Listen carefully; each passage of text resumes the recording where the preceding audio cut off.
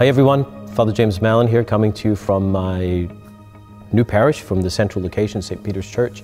And my parish is named Our Lady of Guadalupe. I think you can see her uh, behind me. And it's great to be with you today. And I'm very pleased to introduce this, this, this first talk. We, you've heard us talk about the three keys, and you see that in our logo, the, the key ring with the three keys. The key ring represents the Eucharist, prayer, but the three keys, the things that really make the difference in moving a parish from maintenance to mission, and remember, it's not that maintenance is bad and mission is good. Maintenance is good too, because we're talking about maintaining the flock. It's divinely mandated to maintain the flock. But if all we do is maintain the flock, every year the flock gets older and, and smaller. And so we need to be on mission, and we need to give our, our primary purpose, sense of purpose needs to be mission. That's the only way we're going to do it because if, if our primary sense of purpose is to maintain the flock, we're never going to have time and energy to, to, to put towards mission.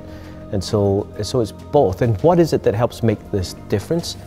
What we've discovered in looking back and reflecting on our own experience working with other churches are these three main keys.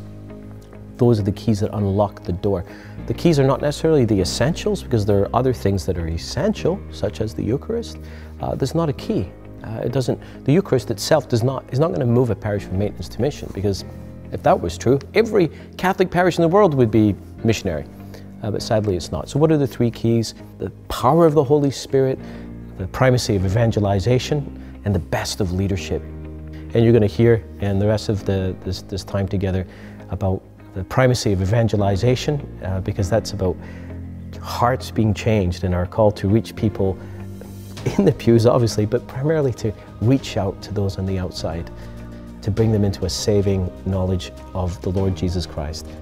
The primacy of evangelization puts the emphasis on the importance of introducing people to Jesus, the people who are already in the pews and the people that you hope to invite to your pews in the future. The church and your parish exist to evangelize. But you don't have to take my word for it. Jesus himself tells us in his Great Commission, in Matthew 28, we read Jesus telling us to go therefore and make disciples, baptizing them and then teaching them. You know, it's funny when you think of parishes all over the world, often, often we get the order of this wrong. We often think that our, our role is to, to, to baptize and to teach, but we never actually get around to evangelizing. This is why the primacy of evangelization is so important inside of a parish.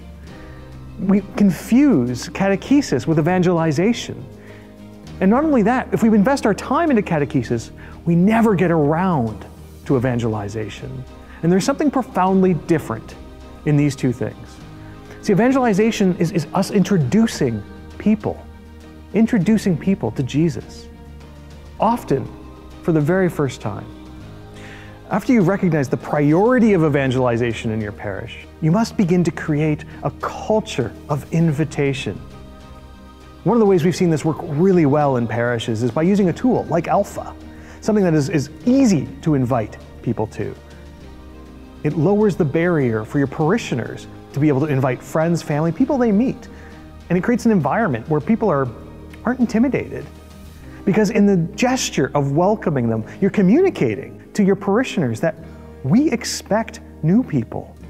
We expect new people are going to find our community, join our community, and most importantly, encounter Jesus Christ.